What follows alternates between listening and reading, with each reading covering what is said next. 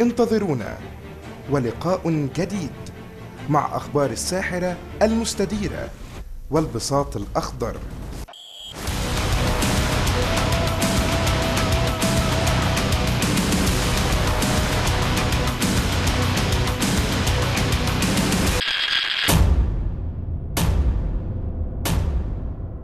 حيث الإثارة والمتعة ونجوم وضيوف لامعين في برنامج الكرة العالمية مع الكابتن محمد حسن في الأوقات التالية.